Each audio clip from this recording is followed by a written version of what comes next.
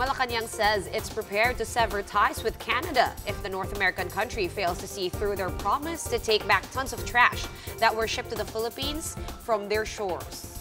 And in fact, the palace has already pulled the country's ambassador to Canada. Royce Nagit has the report.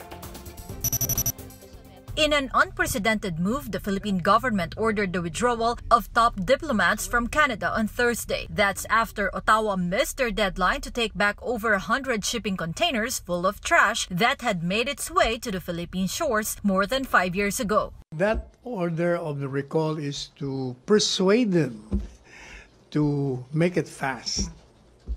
The more they delay, the more personnel will be coming back.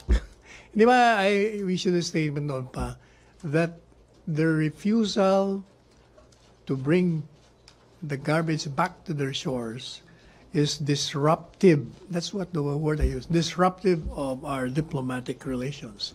Ayun, yun ang nangyayari. This is the latest move in a long-running roast stoked by threats from President Rodrigo Duterte. Last month, the chief executive threatened Canada with war and said he would personally escort the waste containers by sea back to Canada. Canada says the waste, which was exported to Manila in batches between 2013 and 2014, was a commercial transaction that was not backed by the Canadian government. The waste shipments were initially labeled as plastics to be recycled in the Philippines, but were later discovered to be filled with diapers, newspapers, and water bottles instead. Canadian authorities have since ordered to take the trash back, and the two countries are in the process of arranging the transfer. But Duterte put his foot down when officials from the North American country failed to meet with local foreign ministry officials as the set deadline to retrieve the waste on May 15. From the tweet of Secretary Locsin, they, they were supposed to meet yesterday.